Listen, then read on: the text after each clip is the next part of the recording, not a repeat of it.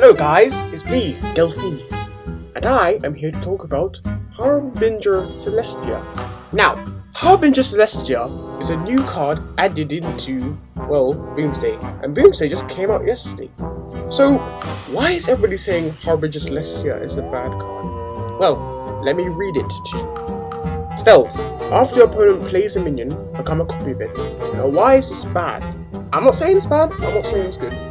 Its ability is actually balanced and interesting, but it loses its stealth and its ability after it after it transforms. So like when your um opponent plays like a Murloc or something, like a weak little Murloc, yeah, it transforms into it. It loses its stealth and its ability. It can no longer transform into another minion that your opponent plays.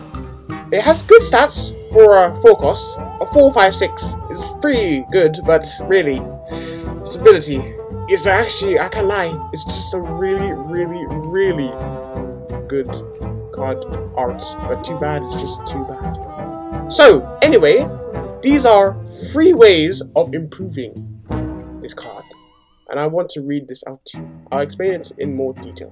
Here's my first suggestion. While this is in your hand, whenever your opponent plays a minion, become a copy of it. It keeps its ability. Why is this good? It's like Flobbidinous Floop. Flobbidinous Floop is like it's just like this, this ability I, um, am told, but it's not when you play a card, it's when your opponent plays a card. Flobbidinous Floop keeps its ability after it transforms into another card and also changes the stats and etc. as well. If this was the ability, it will be a very, very good tech card against Malygos, the Lich King, all those powerful cards that like big decks always run. Like Druid, they run so much crap. Like Malygos on all of this just junk that I see every single time when I play ranked or constructed. Why is this an improvement? Well, because of course, Harbinger Celestia, I see it has potential, but Blizzard thinks that, oh, if we make something like this, it will be too overpowered and will break the game Okay, on to the next one. Number two, Stealth. When your opponent plays a minion, become a copy of it. It keeps its ability and stealth. So, when it is in the battlefield, it has stealth, right? It keeps its ability and stealth, like after it transforms into like minion, yeah? Like example like a, a Murloc.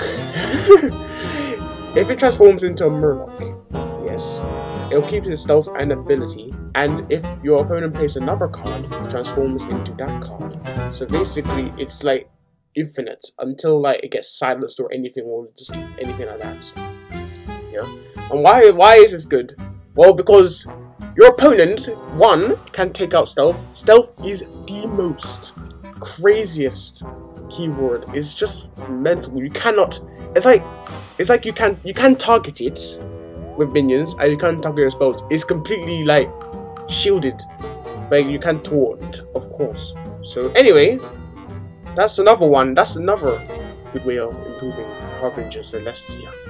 It's basically like the one we have right now, but it keeps its ability and stealth after it transforms. Because of course, if your opponent plays a minion, it loses its stealth and loses its ability. And the third one is one that I, well, created and maybe really busted, who knows. Stealth, when your opponent plays a minion, gain a copy of it into your deck. It costs one. Or actually, in other words, just copy it into your deck and it costs one. Just to like, sat, just like look into that Luna's Pocket Galaxy. Why is this good? It's because it's a good four six. It's a good four cost, five six on the board, and it can copy cards off your opponents when they play play it, or actually play minions. So anyway, that's three of great of good ways of improving Harbinger Celestia. I just hope that Blizzard will actually think about it, yeah, and improve it in the first week or so. Who knows if Harbinger Celestia is a good tech card against like all of those annoying cards that you see in ranked people play.